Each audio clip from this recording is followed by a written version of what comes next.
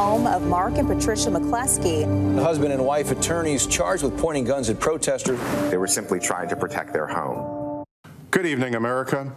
We are Mark and Patty McCloskey.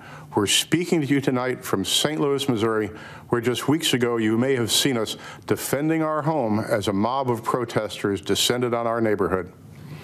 America is such a great country that not only do you have the right to own a gun and use it to defend yourself, but thousands of Americans will offer you free advice on how to use it.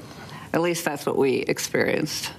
What you saw happen to us could just as easily happen to any of you who are watching from quiet neighborhoods around our country. And that's what we want to speak to you about tonight. That's exactly right.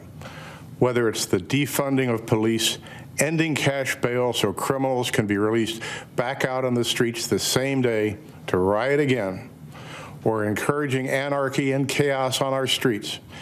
It seems as if the Democrats no longer view the government's job as protecting honest citizens from criminals, but rather protecting criminals from honest citizens.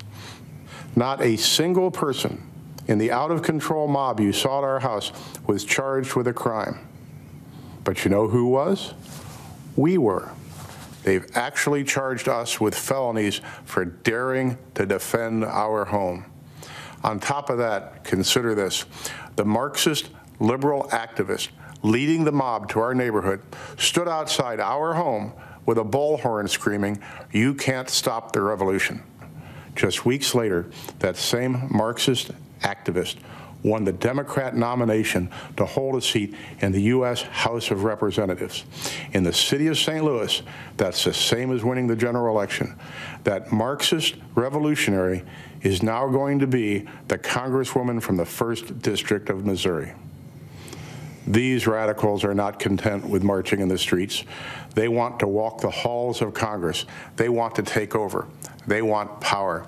This is Joe Biden's party. These are the people who will be in charge of your future and the future of your children. They're not satisfied with spreading the chaos and violence into our communities. They want to abolish the suburbs altogether by ending single family home zoning. This forced rezoning would bring crime, lawlessness, and low quality apartments into now thriving suburban neighborhoods.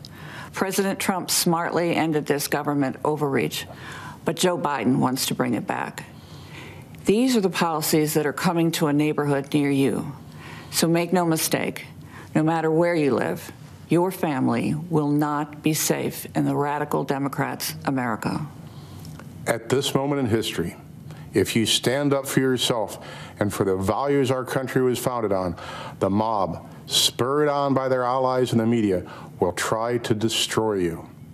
You've seen us on your TV screens and Twitter feeds. You know that we're not the kind of people who back down. Thankfully, neither is Donald Trump. President Trump will defend the God given right of every American to protect their homes and their families. But more than that, Trump's vision for America is a country where you have an opportunity to work hard and build the life you dream of with a job you love, with your children being educated in great schools, in a community where your family can play in the backyard without fear, worship in a church without shame, and express your beliefs without retribution. Trump brought us the greatest economy our country had ever seen. The Democrats have brought us nothing but destruction.